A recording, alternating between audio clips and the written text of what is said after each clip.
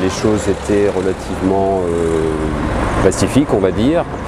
Et les forces de l'ordre sont arrivées entre 9h30 à peu près et 10h, tandis que les choses étaient toujours sans, sans, menace particulière et que le, rapport de force, on va dire, était de, de, se pousser un peu les uns les autres. Là, il y a des, des, coups sont partis et puis l'utilisation aussi de gaz lacrymogène. Très objectivement, il n'y a pas eu de dialogue du tout. Il n'y a pas eu de dialogue du tout.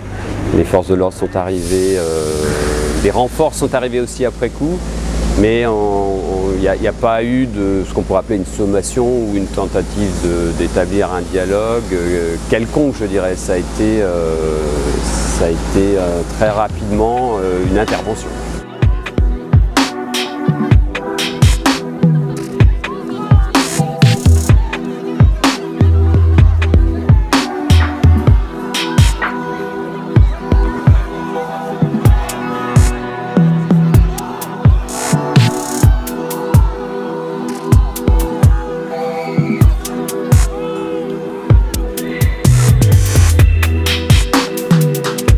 Y a euh, beaucoup plus qu'une quinzaine de pourcents d'établissements qui euh, euh, qui sont dans lesquels ça se passe mal parce que il y a ceux dans lesquels les élèves bloquent, ceux dans lesquels les profs sont en grève, mais il y a aussi ceux dans lesquels, malgré la meilleure organisation du monde des établissements, les élèves peuvent tricher, les élèves connaissent les sujets à l'avance, les élèves peuvent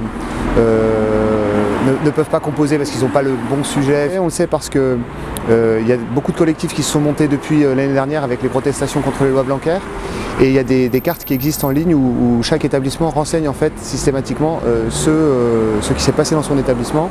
Les informations sont venues au compte-gouttes et toujours au dernier moment, voire ce qu'on pourrait considérer après même le dernier moment, puisque nous avons eu une idée des examens, euh, des, sujets qui, tombaient euh, au mois de décembre.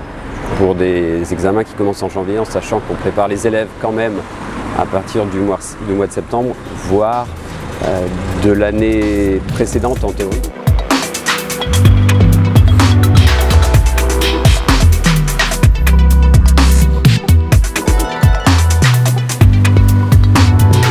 Il semblerait qu'il y ait des bruits d'après les syndicats. Euh, le ministre va rencontrer normalement le 11 mars euh, l'ensemble euh, du comité de suivi national qui donne au fur et à mesure de l'avancée de, la, réforme des indications.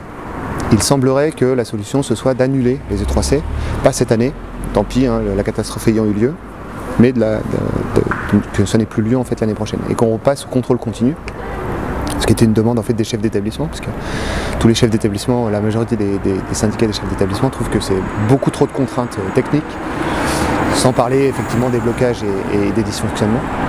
Euh, et donc on ne sait pas, nous, euh, si ça n'a pas lieu, comment ça se fera.